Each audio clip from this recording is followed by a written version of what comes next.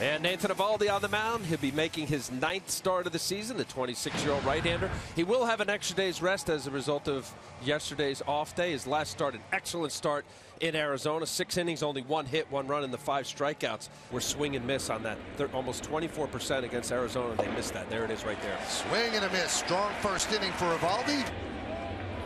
Swing and a miss. That was it. So he buried him with that pitch.